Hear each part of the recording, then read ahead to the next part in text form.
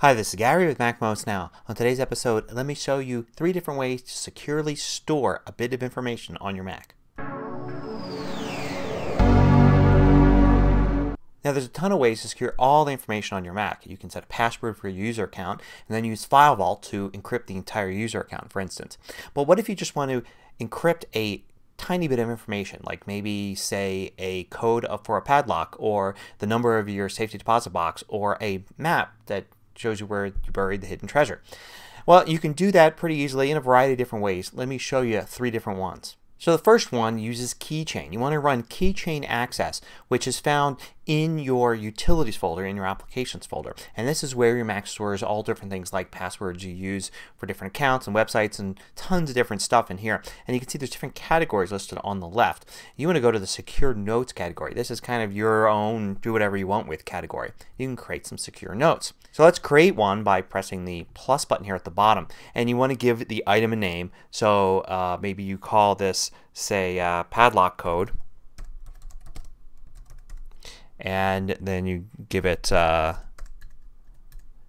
the code right there and you say add. So now it's added to your keychain. At this point it's securely encrypted but it's easy to get to because usually for most users when you're logged into your Mac you're logged into your keychain as well. So all you need to do is run keychain access, go to the secure notes here and double click on the padlock code and it'll come up except that uh, when you hit show note it's going to ask you to enter your keychain password and it won't show you the data until you enter that password. So somebody has to know uh, both your user password to log on to your Mac but then also the keychain password to get on uh, because it's asked here a second time even if they're logged into the keychain under normal circumstances.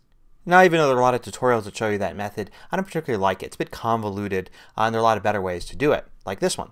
So let's say you store the information that you want inside a simple text file. Just use TextEdit to create it. I've created a padlock file from TextEdit and it's got, you can see the contents in there are uh, the numbers. And I put it in a folder called secrets. And the idea is I want to actually protect everything in here. So I can have a padlock code, I can have an image with a map on it, I can do all sorts of things in here. So the way to do this is to run disk utility and with disk utility you can do something called new disk image from folder. So let's do that. And I'll go in and I'll find under documents there's that secrets folder I created. And I'll create an image from that. And what I'm going to do here is I'm going to set the uh, image format to just a compressed image format but I'm going to set the encryption to 128-bit encryption. And I'm going to save it in the same location dot, under documents. And we'll save it. It's going to ask me to enter a password.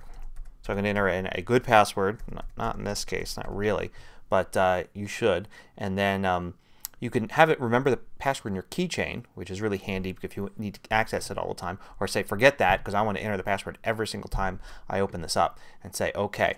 And what will happen is it will create this disk image. And we will cl uh, close out disk utility here. And I'll see I still got the original folder. So I want to toss that. And I've thrown that away. And now I have the secrets .dmg and it's not even mounted. You can see it's not here listed on, my, on the left. So if I want to get to it, get to the contents of it, I need to double click it here to open it up and enter that same password. Don't forget it. And say OK and it will open up the disk image and once the disk image is opened up you can see I have access to it. It's now in the left under devices and then here I've got that RTF file.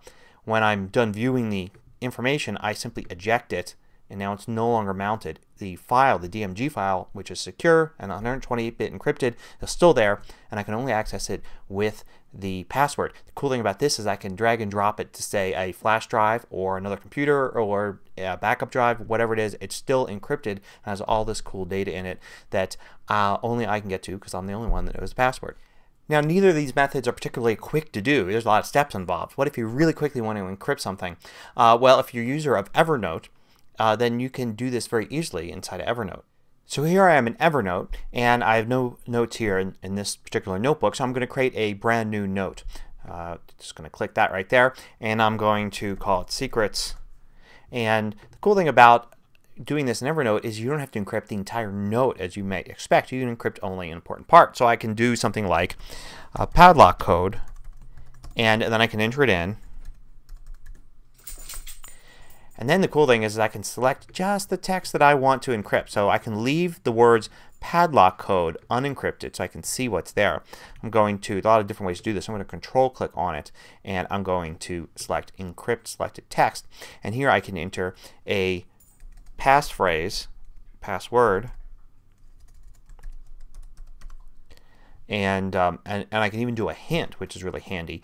Um, and then I can select whether or not to remember it. In other words, I enter it once and it will show me the data in there until I quit Evernote and then I have to enter it again. I'm not going to do that for this one because I want to keep it super secret and hit OK. So now I've got this note here and the padlock code and you can see it's this little encrypted content thing um, and I have to click on it and say show encrypted text and hit the password and now it'll show me that and instantly as soon as I click away it's gone. So now I can in this secrets note I can do all sorts of things uh, enter in other um, uh, codes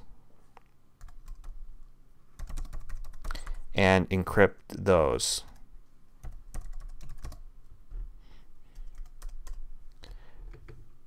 And I can use a, a different password for each one of these. There we go. So now I've got two encrypted pieces of data and I can encrypt entire huge blocks of text and information, everything inside of a note or just select the entire note and encrypt it as well. So Evernote wins as far as how easy and versatile it is to encrypt a small bit of data.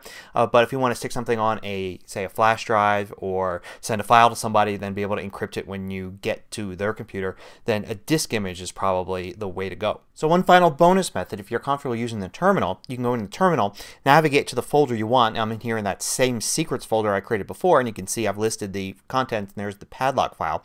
And you can use the zip command and dash E for encrypt and then give it the name you want so like padlock.zip and then uh, give it the file that you want to encrypt so padlock.rtf that's the command there. It's going to ask me for a password and verify the password and now I've got that. If I list the files there, I say I still have both. So I'm going to have to trash the one that uh, I don't want, the RTF file. But if I go to the Finder now I can see the cool thing is, is I don't need to use the terminal to look at the contents of it. I can just double click on the zip file. It's going to ask me for that password and it will decompress it. Now disadvantage of this is the fact that it's now decompressed it and made it into a file. So now once I look at the contents of it I have to select it and delete it. I still have the zip file there. Uh, get rid of the original too but every time I want to look at it it's creating a copy of it that I can then look at. The advantage of this, though, may be that it probably works multiple systems. Uh, this may work on Windows, this may work on Linux. Uh, anything that uses a um, fairly robust zip uh, application will, should be able to uh, get to this file by using the password. So there's not three, but four different ways to encrypt a tiny bit of information with a password. Hope you found this useful. Until next time, this is Gary with MacMost Now.